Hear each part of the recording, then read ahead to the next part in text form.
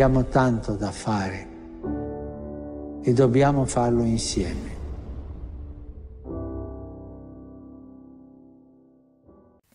മാഗ്നിഫിക്കാത്തിലേക്ക് സ്വാഗതം. നാൽപ്പത്തി എട്ടാമത്തെ എപ്പിസോഡാണിത്. സഭയെ സമീപിക്കുന്നവർ വാതിലുകൾ തുറന്നു കിടക്കുന്നത് കാണണം. ഫ്രാൻസിസ് മാർപ്പാപ്പയുടെ പ്രഭാത പള്ളി പ്രസംഗങ്ങൾ സത്യം ഒരു കൂടിക്കാഴ്ചയാണ്. ഈ പുസ്തക പരമ്പര മൂന്ന് വാല്യങ്ങളിലായി ഈ പ്രബോധന പരമ്പര ഇതാ മലയാളത്തിൽ ലഭ്യമായിരിക്കുന്നു. ഇത് വലിയ ഒരു ആനന്ദം പകരുന്ന വിശ്വാസം പകരുന്ന വിവേചനം പകരുന്ന വലിയ പ്രബോധനമാണ്. സാധാരണ ആളുകൾക്ക് വേണ്ടിയുള്ളതാണ്. ഇതിൽ വലിയ ദൈവശാസ്ത്രമൊന്നുമില്ല. വീട്ടമ്മമാർക്കും നമ്മുടെ സാധാരണ വിശ്വാസികൾക്ക് ഇന്നത്തെ ക്ലാസ്സിൽ പറയുന്നുണ്ട് വിശുദ്ധ ദൈവജനം. അപ്പോൾ ഇത് നമ്മൾ ഉപയോഗിക്കണം ഇത് വീട്ടിൽ നിക്ഷേപമാക്കി സൂക്ഷിക്കണം ഇത് മറ്റുള്ളവർക്ക് പ്രസന്റ് സമ്മാനമായിട്ട് കൊടുക്കണം. ഇതിലേയും നല്ല വേറൊരു സമ്മാനമില്ല. ഈ വീഡിയോകൾ മറ്റുള്ളവർക്ക് ഷെയർ ചെയ്യണം. ഇത് പരിഭാഷപ്പെടുത്തിയത് ഡോക്ടർ ജോസ് മാണിപ്പറമ്പിൽ അച്ഛനാണ്. വളരെ മനോഹരമായി സാധാരണക്കാരുടെ ഭാഷയാണ്.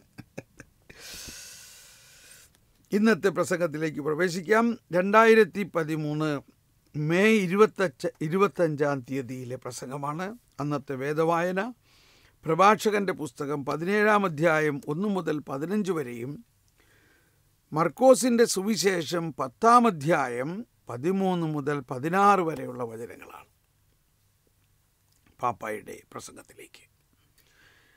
സഭയെ സമീപിക്കുന്നവർ വാതിലുകൾ തുറന്നു കിടക്കുന്നത് കാണണം.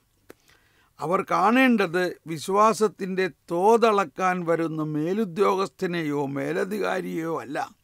Not is inspectors of faith കർത്താവിന്റെ വാഴ് സ്വീകരിക്കാൻ വന്ന ശിശുക്കളെ തിരിച്ചയക്കുന്ന ശിഷ്യന്മാരെ ശാസിക്കുന്ന യേശുവിനെയാണ് സുവിശേഷം പരിചയപ്പെടുത്തുന്നത്.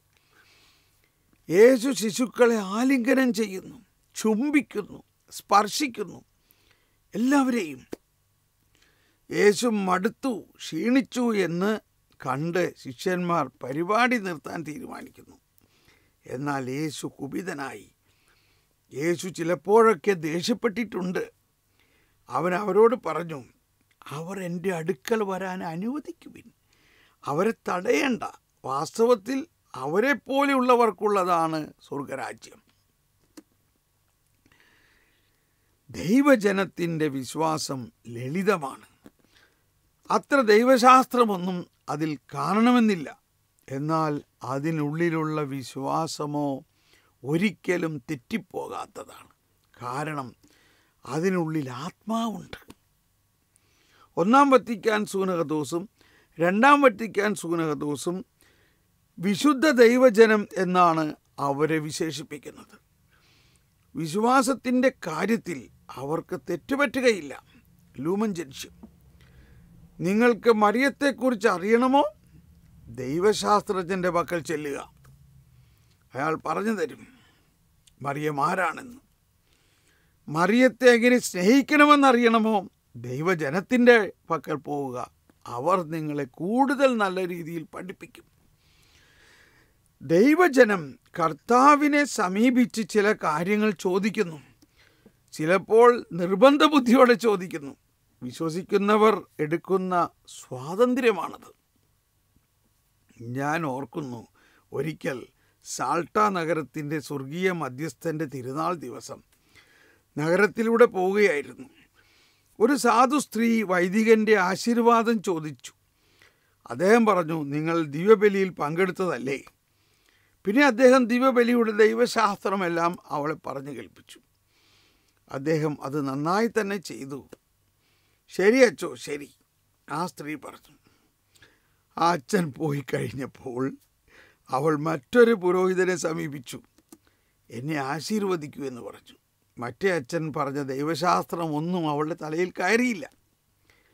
അവൾക്ക് വേണ്ടത് മറ്റൊന്നായിരുന്നു. കർത്താവിന്റെ ഒരു കരസ്പർശനം. ഇത്തരം വിശ്വാസമാണ് നാം എവിടെയും കാണുന്നത്. ഇത്തരം വിശ്വാസമാണ് പരിശുദ്ധാത്മാവിനെ ഇറക്കിക്കൊണ്ടുവരുന്നത്. നാം അവരെ സഹായിക്കണം വളർത്തണം വളരാൻ സഹായിക്കണം. ജെറിക്കോയിലെ അന്ധന്റെ കഥ നോക്കൂ.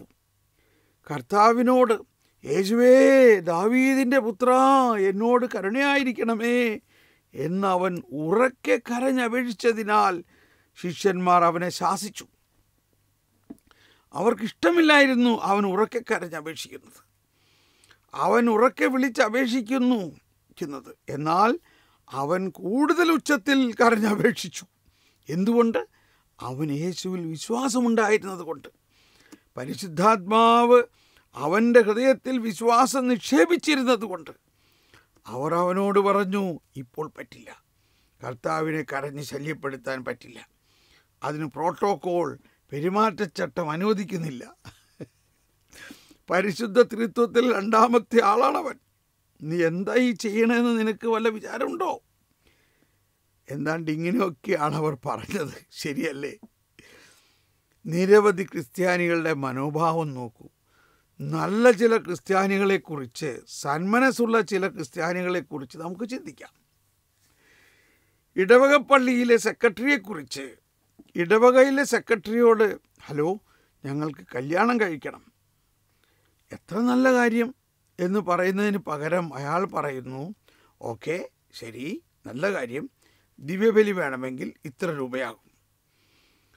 നല്ല ഒരു സ്വാഗതം കൊടുക്കുന്നതിന് പകരം കല്യാണം കഴിക്കുന്നത് നല്ല കാര്യമല്ലേ?